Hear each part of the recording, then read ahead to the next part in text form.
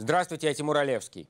В Варшаве собирается собственный Майдан. Палаточный лагерь возле Сейма в столице Польши уже появился.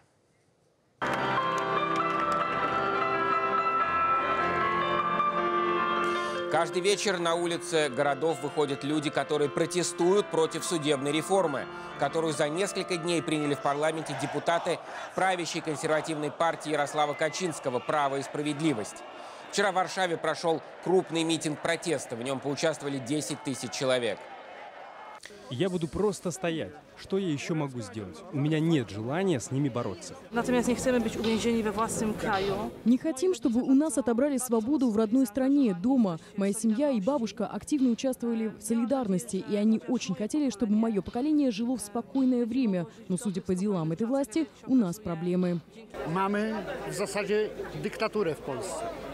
Мы получили диктатуру в Польше. Одного человека, президента партии большинства, который ничего не решает, а только забывает, что Польша – это правовое государство. Противники реформы утверждают, что партия Качинского собирается подчинить себе судебную систему. Они приняли закон, который меняет порядок формирования Высшего Совета Судей. Большинство будет назначать парламент и министр юстиции, а нынешний состав суда будет распущен. Таким образом, новых судей будет назначать политическая сила Качинского. Они же станут рассматривать потом жалобы и споры во время будущих выборов. Против этого уже выступил Евросоюз. Дошло даже до того, что Еврокомиссия пригрозила Польше введением санкций. А люди пришли со свечами к парламенту. Несколько сотен человек остались там на ночь.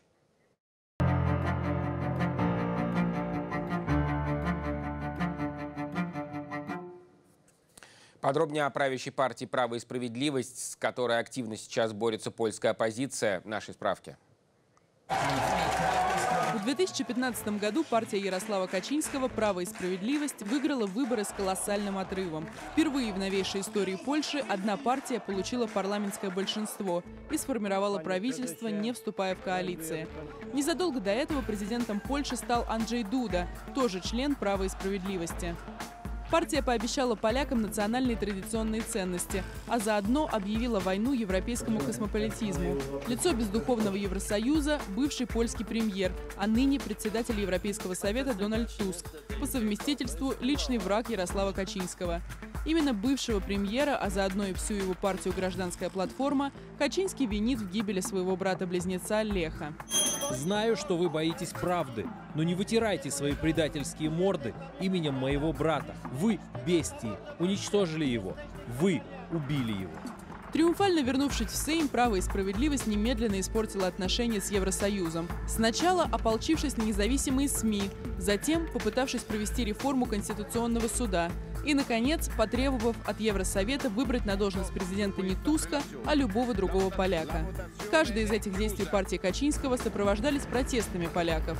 Вот они маршируют в защиту Конституционного суда. А это кадры декабрьских митингов под Сеймом. Оппозиция обвиняла правящую партию в махинациях с бюджетом. Январь прошлого года. Протесты против закона о СМИ, который дал правительству право назначать руководителей общественных телерадиокомпаний.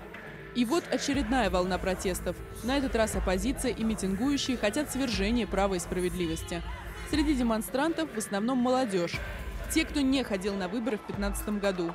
Право и справедливость выборы, конечно, выиграла, но при явке около 50%. За партию Качинского проголосовали чуть более 5 миллионов человек, при том, что зарегистрированных избирателей в Польше 30 миллионов. Почему на улицах Варшавы противники Ярослава Качинского не встречают сопротивления сторонников правящей партии «Закон и справедливость»? И что может угрожать обитателям палаточного лагеря у стен Сейма? Я спросил сегодня у журналиста независимой газеты «Выборча» Ванслава Радзивиновича.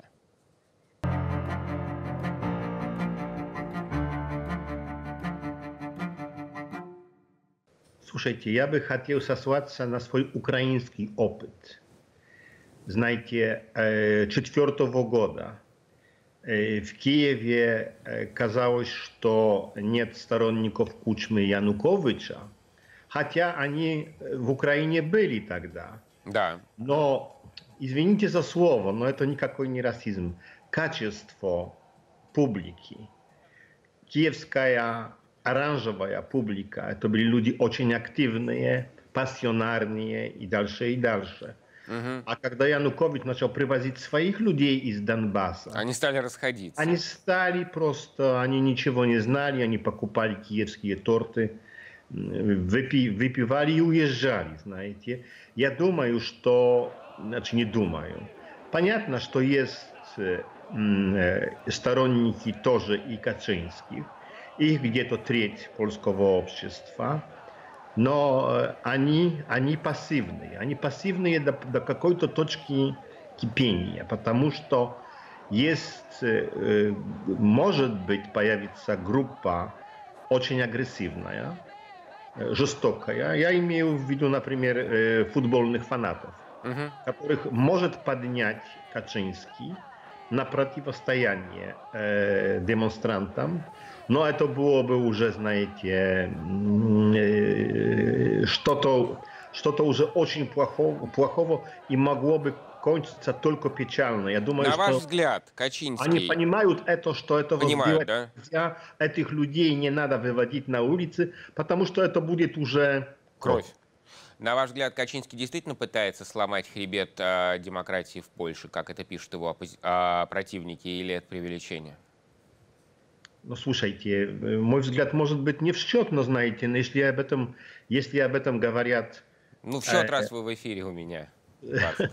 Так я, мне лучше сослаться, это говорят э, политики, это говорят, э, говорят научные авторитеты, это говорит Евросоюз, это говорит уже м, м, Госдепартамент. Им Госдепартамент. движет, стоп, я понял, им движет жажда власти или жажда мести, коротко? Слушайте, э, э, Качинский в этом смысле похож на э, э, Владимира Ильич, Ильича, Ленина. который, которому тоже двигала, двигала э, жажда мести. И жажда власти. И тогда, жажда власти, последний, так похоже. тогда последний вопрос. Вот сейчас об этом я хочу вас спросить. Как же так вышло, что а, граждане Польши на выборах прозевали партию «Закон и справедливость», допустили ее до власти и ничего не смогли ей противопоставить? Не занимались политикой, и вот она в дверь постучалась? Так выходит? Слушайте, есть такой принцип. В Польше в выборах не, побеж- не побеждают. В Польше выборы проигрывают. Партия власти, предыдущая, э, Газманская платформа, просто прозевала, проиграла. Через 8 лет они растолстели, потеряли ориентиры. И из-за этого проигра- проиграли. Они проиграли, потому что их предыдущей власти общество, общество предыдущая власть просто надоело. Из-за этого победа э, Качинских. Что происходит в Варшаве сегодня вечером? Нам рассказала наша коллега Ксения Марченко, которая также приехала на площадь перед Сеймом. В воскресенье, в первый день протеста в Варшаве, еще не было этого длинного, огромного железного забора. Но во второй день появился он, а еще палатки с другой стороны. Проект обсуждали всю неделю. После начала протеста президент Дуда потребовал внести поправки, изменить проходное количество голосов.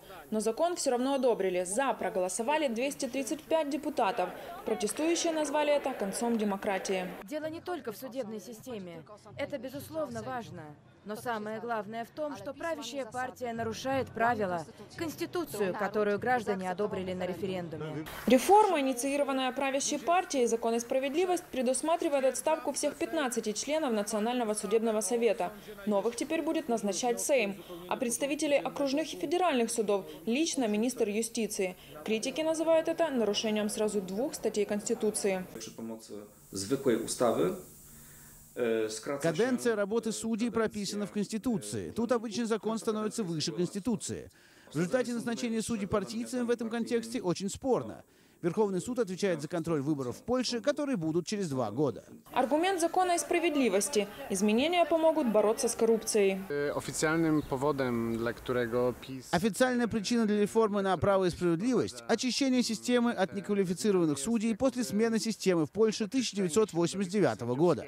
Санкции в отношении Польши со стороны ЕС на подписанные законы могут быть такие. С одной стороны, это утрата в репутации, а с другой стороны, это финансовые последствия.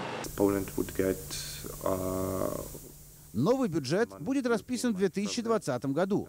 Польша может потерять финансирование, и это будет ощутимо. а также могут запретить голосовать. Формально мы члены Совета, но без возможности влияния на важные для страны дела. Недовольные реформой под флагами оппозиции вышли на улицы в 33 городах Польши. Они несли свечки к зданиям судов, а на городских площадях требовали от президента наложить вето на скандальный закон. Четверг у президентского дворца в Варшаве собралось почти 50 тысяч протестующих. Особа! Человек, который живет в этом дворце у меня за спиной, у него есть прекрасный шанс доказать, что он президент всех поляков. Надо сделать всего одну вещь – наложить вето на эти законы. И мы призываем его не мешкать. Сам же президент в это время был на отдыхе в городе Хель на северо-западе Польши.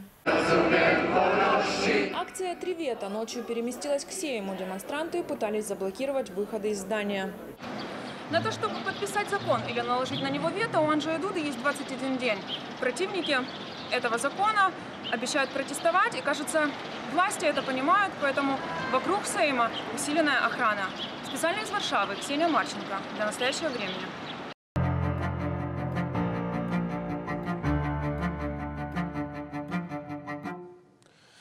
Судебная реформа в Польше угрожает ценностям Евросоюза. Об этом заявил вице-президент Еврокомиссии Франц Тиммерманс.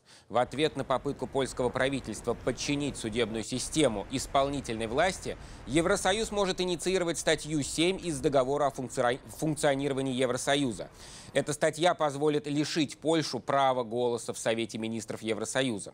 Ранее эта мера никогда не использовалась. Тиммерс, Тиммерманс уверен, что если он инициирует эту процедуру, то получит поддержку членов Еврокомиссии. По его словам, Польша может быть лишена права голоса, даже несмотря на то, что это может подтолкнуть ее к выходу из Евросоюза. Тиммерманс утверждает, он убежден, что граждане Польши, цитаты, ни при каких условиях не захотят покинуть Евросоюз. В Евросоюзе политику Ярослава Качинского поддерживает только правый, на грани ультраправого, премьер-министр Венгрии Виктор Орбан. В январе этого года он заявил, что не позволит Евросоюзу ввести против Варшавы санкции за попытку проведения консервативных реформ.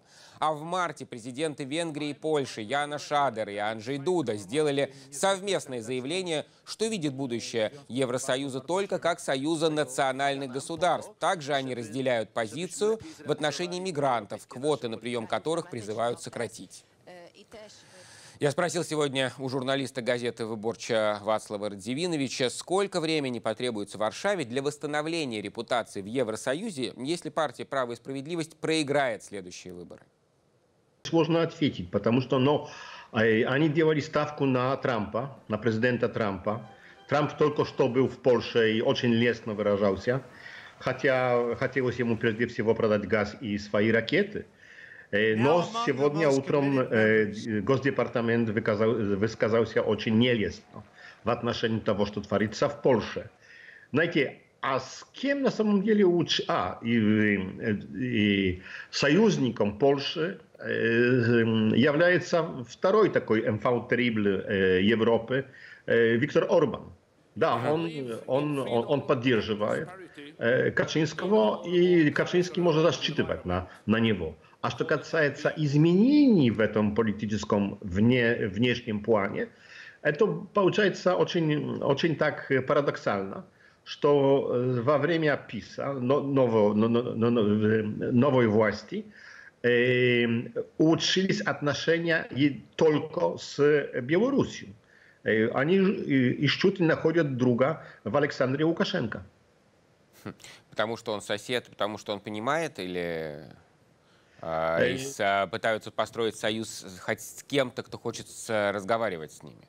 Потому что он единомышленник. Он единомышленник. Он сделал, то, он сделал у себя то, что наши хотели бы сделать у нас. Тогда хотелось бы спросить, вот когда-нибудь э, партия Ярослава Качинского, наверное, уйдет с авансцены, станет э, оппозиционной партией. Я... Как долго будет Польша восстанавливать внешние связи с Украиной, с Россией, я не знаю, с Евросоюзом, с Америкой? Я не думаю, что она эти связи порвет на самом деле. Не, не, не порвет, сейчас, но тут напряжение какое-то абсолютно. Сейчас, пытается это делать сейчас власть. Но э, я сегодня, например, в газете «Коммерсант» прочитал очень, очень умную вещь. Придется, может быть, довольно скоро, избирать полякам между Евросоюзом и Качинским. И тогда их выбор будет точно за Евросоюзом. Так я не, не допускаю пока сейчас, что Польша действительно порвет свои связи с Евросоюзом. Сквозной темой на польских протестах проходит Россия. Даже лозунги у демонстрантов зачастую на кириллице. А отношение права и справедливости к Кремлю стало своего рода символом протестов. Почему даже самая яркая антироссийская риторика польской партии власти привела к сближению Варшавы и Москвы в глазах протестующих, выяснял Ренат Давлетгильдеев. Вот такой лозунг «Пис», «Право и справедливость» и основной матерный глагол русского языка в руках протестующих поляков и на лацканах их пиджаков. Это внезапная кириллица на плакате и на значках, суть отношений Польши и России сегодня и того, как они, эти отношения, выглядят в глазах вышедших на улицу людей.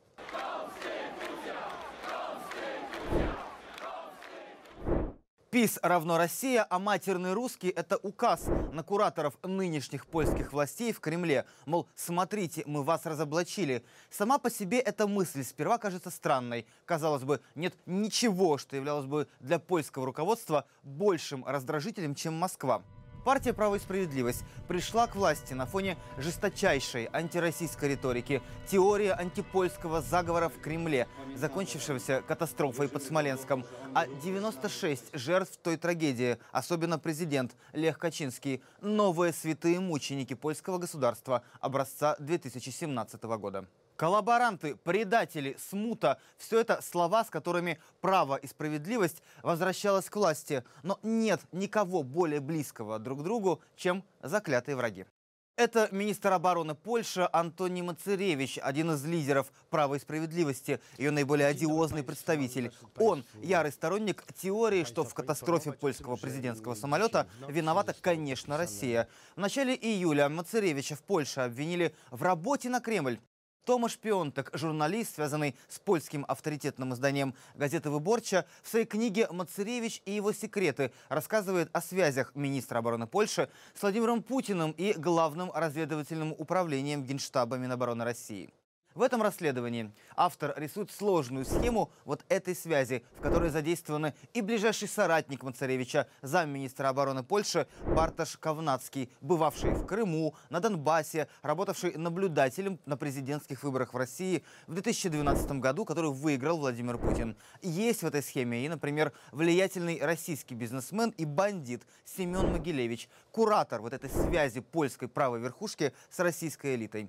По мнению американской журналистки журналистки и политического аналитика Энн Эпплбаум, она же жена Радослава Сикорского в недавнем прошлом, министра обороны и иностранных дел Польши Антоний Мацаревич вполне мог стать объектом спецоперации российских спецслужб и хорошей инвестиции для Кремля. Лучшее объяснение – российские спецслужбы идентифицировали Мацаревича как националиста-конспиролога, способного скомпрометировать Польшу, и оказали ему помощь. В качестве министра обороны он ослабил военных, увольняя квалифицированных генералов, создавая силы территориальной обороны, которые могут быть лояльны его партии, но не стране. Второй вариант прочтения лозунга «пис» и матерный глагол – это то, что Ярослав Качинский строит в Польше копию России. Владимир Путин и Качинский как никто похожи. Они говорят на одном политическом языке, языке консерватизма, традиционных ценностей, замкнутости на себе и своей национальной уникальности. Эти плакаты своего рода насмешка вышедших на улицы поляков над своей же властью. Вы так много говорите нам о России, причем с каждым днем все жестче и жестче, но сами ведете Польшу ровно туда же. Сегодня, кстати, на демонстрантах появились и новые значки, вот такие «ПИС», ПНХ, уже по образу лозунгов Майдана. Впрочем, направление мысли в сторону Москвы все то же.